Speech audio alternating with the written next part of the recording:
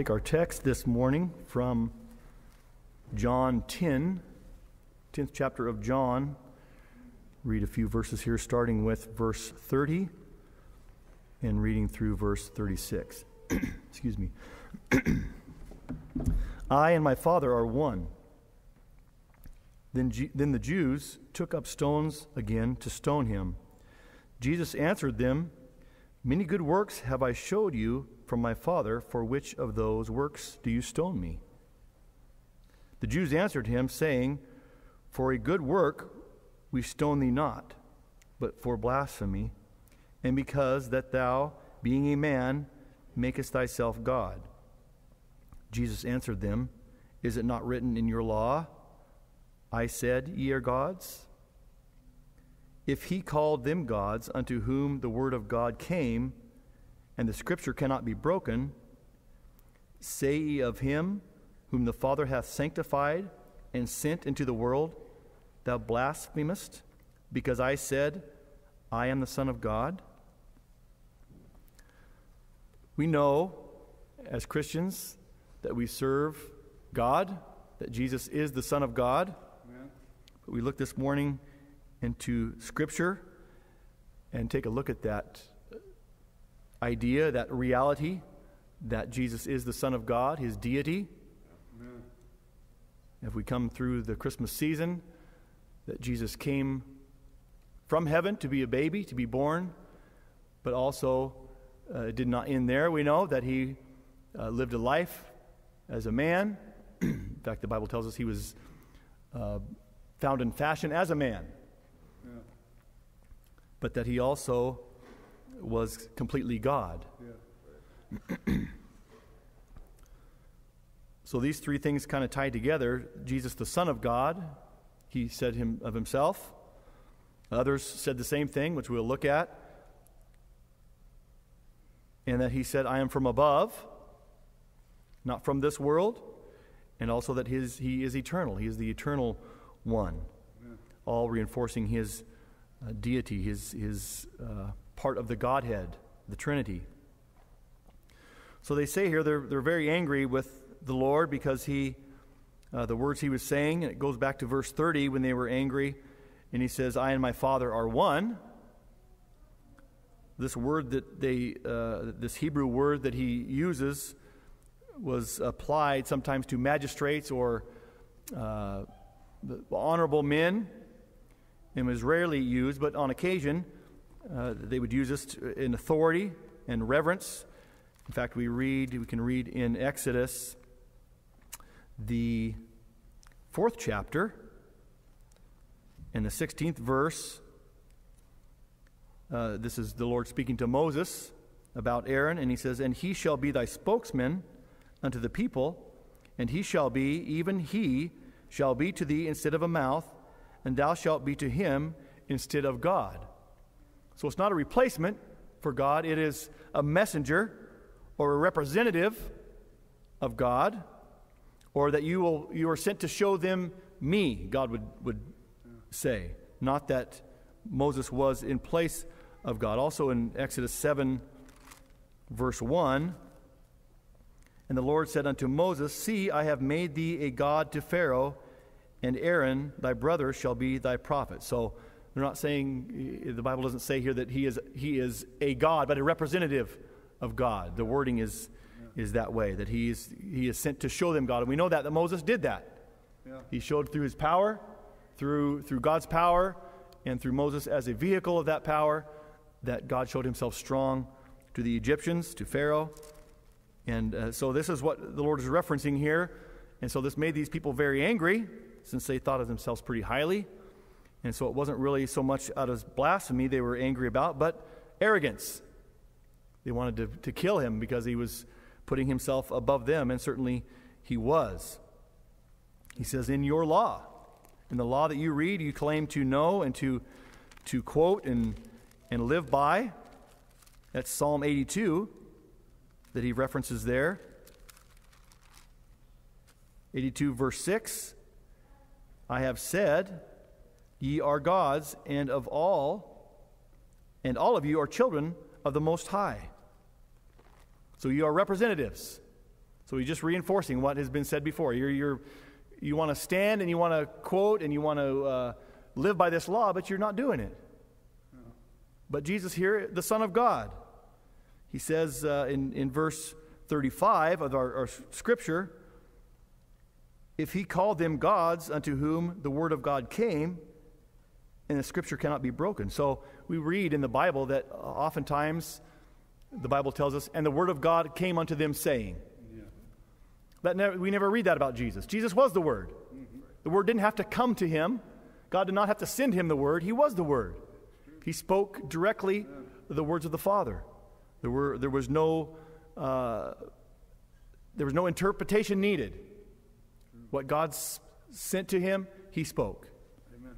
And he said, I believe it's in John 17, that he's here to, to glorify the Father. Uh-huh. He tells them here, if in verse 37 of uh, chapter 10 of John, if I do not the works of my Father, believe me not. If I have done nothing to represent God, if I've done no works, then you don't have to believe me. But the next verse says, But if I do, though, if, if, but if I do, though ye believe me not, believe the works, that ye may know and believe that the Father is in me and I in him. Jesus was not out to, to condemn them, but to, uh, as he does even today with us, speak so plainly uh, is very, uh, makes it very easy to understand. If, if you can't believe, if, if I've done no works, then don't believe it. But look at what's happened. Look what God has done through, through Jesus on earth. Amen. Then believe for that, just for the work's sake. Believe these things. But they, they were uh, determined not to do so. Others recognized Jesus as the Son of God. God Himself solidified the fact by speaking from heaven when Jesus was baptized. In Matthew 3, yes. verse 17.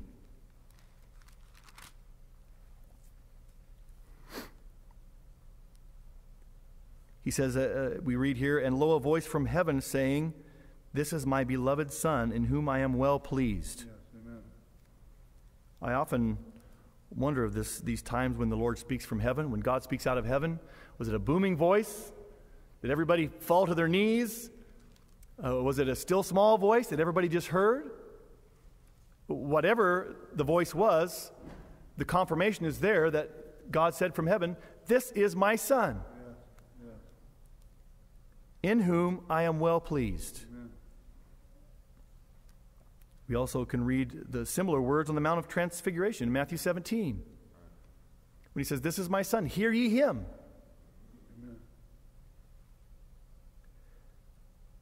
In Mark 5, verse 7, we see that even demons recognize the Lord and who he was. Mark 5 7, when he came to the man uh, that was invaded by demons and he was living in the tombs and cutting himself and, and they couldn't be, he couldn't be bound. And the Lord came to him and landed on the shores there. And it says in verse 6 But when he saw Jesus afar off, he ran and worshiped him. Amen. And cried with a loud voice and said, What have I to do with thee, Jesus, thou Son of the Most High God? So even, even a, a possessed man recognized that Jesus was the Son of God.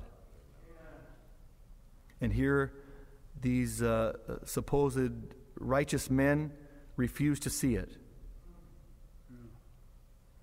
When Peter walked on the water and he was afraid and he began to sink, you may remember that story, and the Lord reached out to him and pulled him up out of the, out of the, the crashing waves.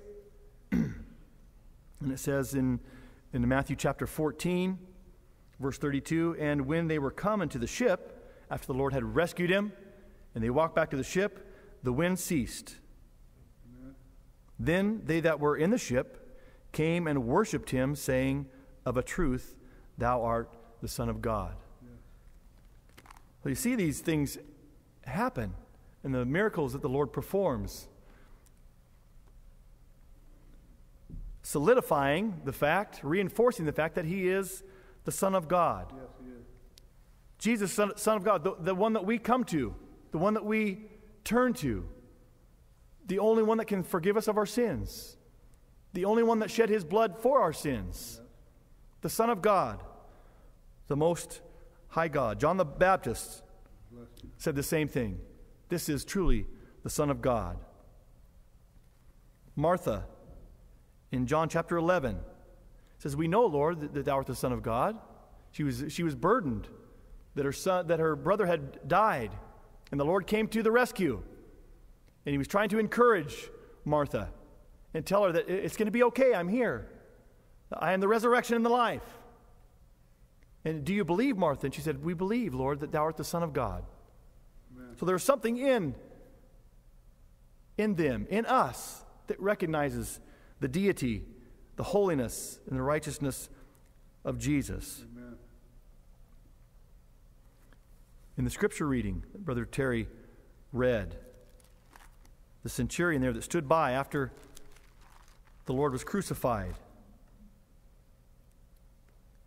he said himself, this, the centurion that stood by, truly this man was the Son of God.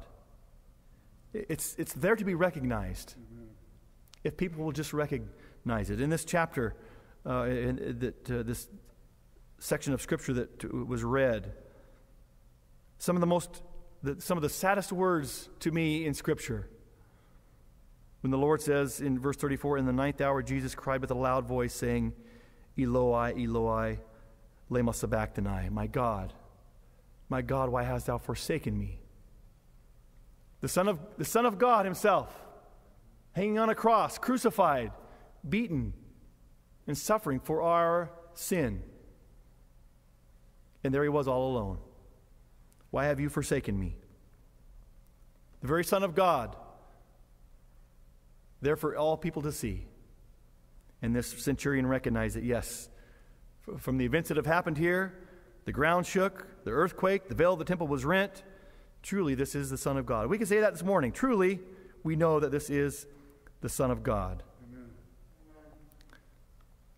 He says in John, the Lord does, John chapter 8, verse 23. Then Jesus said unto them, When he when ye have lifted up the Son of Man, then shall ye know that I am he. And do nothing of myself, but as my Father hath taught me, I speak these things of. He references his Father. I'm the Son of Man. The Son of, uh, I'm here as a man, but I'm the Son of God. We go back to verse 23, and he says, I, and he said unto them, Ye are from beneath, ye are from this world. I am from above. Ye are of this world, I am not of this world. The Lord had told them, I'm going to I'm going to go to a place you can't go to. And they, they wondered on themselves, where, where is he going? Why can't we follow? And the Jews said, Will he kill himself? Because he saith, Whither I go, ye cannot go? Jesus said, No, I'm not of this world. I'm from above. I came from heaven. I'm going to return to heaven. And I will be there to intercede for you. He has a perspective, Jesus does, that we cannot have. Our thoughts are instinctively human. His thoughts are instinctively heavenly. It's like a view from an airplane versus a, uh, a view from driving your car. We see just what's ahead of us. A view from above sees the road, sees what the obstacles ahead, the dangers, the best way to take. That's the perspective that the Lord has. He is from above. He sees the whole picture, amen. Not just what we can see. We are limited as, as people to see only what, just very, very uh, uh, short view of what's before us. But I'm thankful we serve a God, serve a Savior who cares enough to look out for us down the road. Yeah. I was thinking that the, the Lord is, uh, how, how well the Lord takes care of us, even sometimes before He prepares us and watches out for us, even before we acknowledge Him as our Savior, before we come and, and, ask Him to forgive our sins. Years ago, I was, uh, when we lived in Roseburg, I was a, worked in the sheet metal shop, and uh, they were trying to turn out some journeymen. And so I entered a course uh, uh, for, to, to get my sheet metal journeyman's card and went through that course and, and achieved that and had it uh, and had pretty much forgotten about it.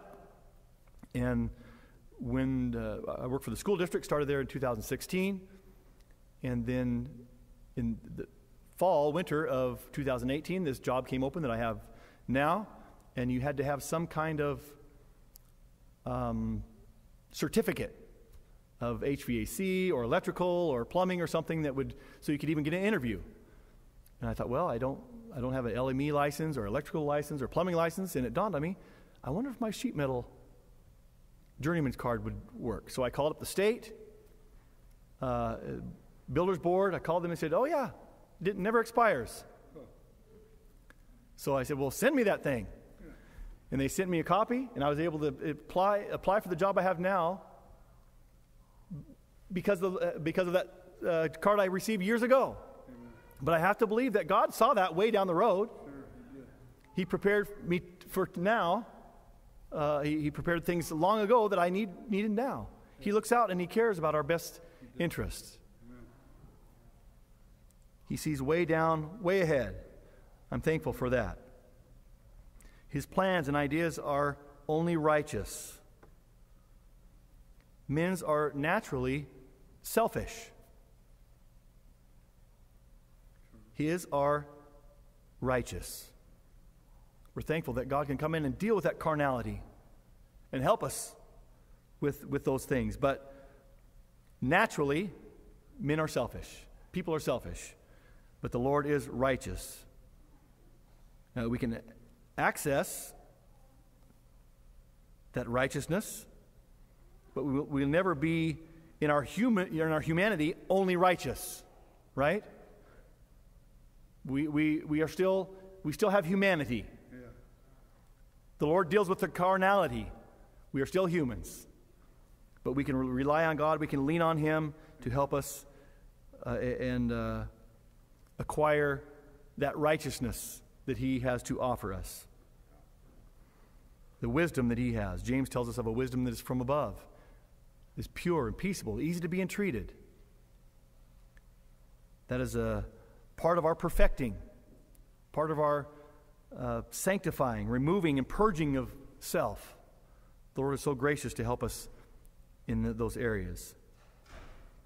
He says, I am the eternal one. John 8, verse 58. Jesus said unto them, Let's go back a little bit. Verse 56 Your father Abraham rejoiced to see my day. This is Jesus speaking, and he saw it and was glad. Then said the Jews unto him, Thou art not yet fifty years old, and how hast thou seen Abraham? Jesus said unto them, Verily, verily, I say unto you, before Abraham was, I am. This is different from what this, this word rendered was in our language and am are, are different. The one was when he says, Jesus said unto them, Verily, verily, I say unto you, before Abraham was, it means Abraham was brought into being. The other I am means I exist. The statement, therefore, is not that Christ came into existence before Abraham, but that he never came into being at all, but existed before Abraham. had a, before Abraham even had a being. In other words, existed before creation or eternally. He was not created, He was He is. In the, be- in the beginning was the Word, and the Word was with God, and the Word was God. And we could add today, and the Word is God.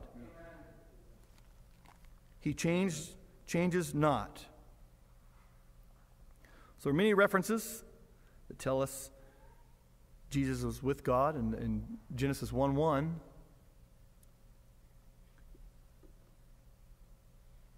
The creation began, and the word used there in the beginning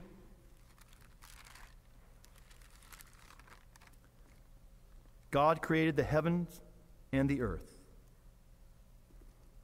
God is a, is a, is a plural. It, it doesn't mean a singular person. He uses that word God as a plural Elohim, not El or Eloah. In the beginning, God, we created the heavens and the earth. Amen.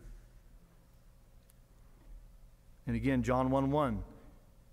In the beginning was the Word, and the Word was God, and the Word was with God. And the Word was God, and we could say again, the Word is God. Amen. So, what do we take from this? Jesus is not part of creation, He took part in creating. We have a Savior that no situation can surprise, can take him by surprise. There's nothing that he has not seen, nothing that he cannot conquer or has not conquered. We have a Savior who is the Son of God, Amen. who is part of the Godhead. But he's not only above and the Son of God, but he has returned to that place. We read in Hebrews that he is set down at the right hand of the majesty on high, and that he resides there. John 14, comforting words we'll close with this morning.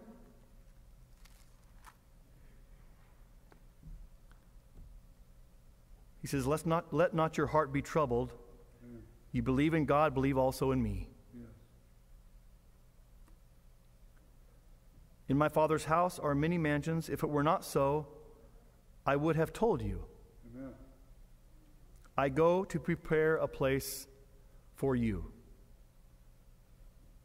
I like that that's so personal. That the Lord says to his disciples, and we can read it on down through the years and apply this to us I go to, to prepare a place for you. Amen.